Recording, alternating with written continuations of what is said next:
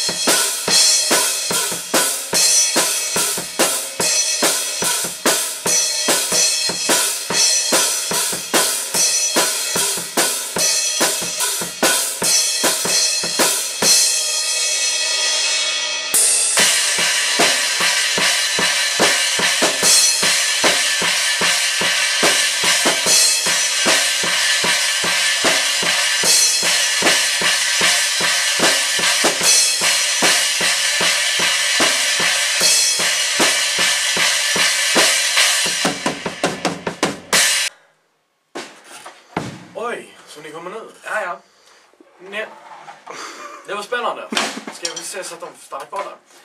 Nästa låt vi ska spela, ja, inte här då, utan där borta, är ehm, Remnant of Purity.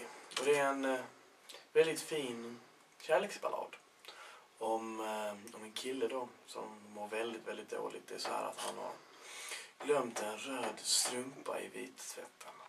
Och alla har väl upplevt den ången. Så, nästa låt heter Remnants of Purity och handlar om en röd strumpa i vittvätten.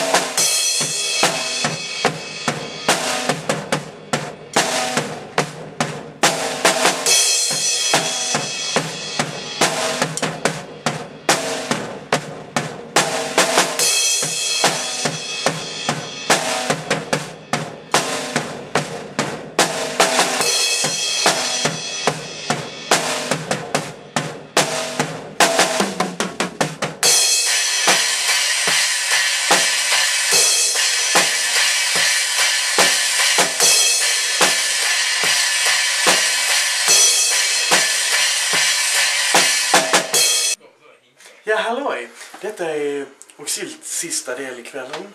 Nu ska jag gå in och presentera och titta vad de andra pojkarna gör. Ja, som ni ser så har det blivit mörkt och här sitter de all... Sen så sitter resten av Oxyltpojkarna.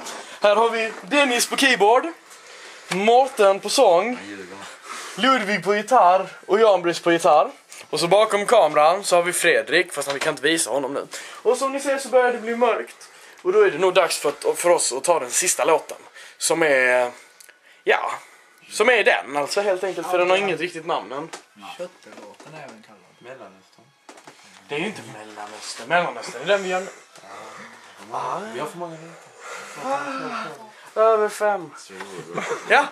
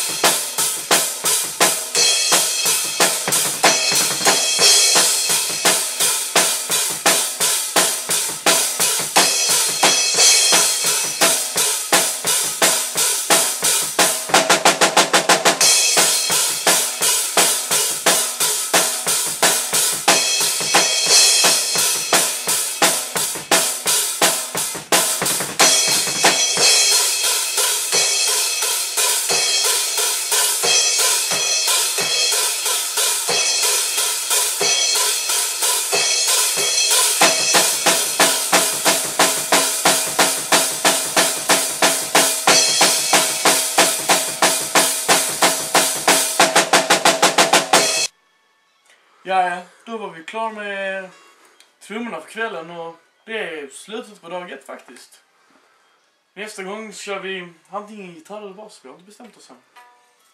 Så vi vill säga Tack, för ikväll. Jag med i brallan.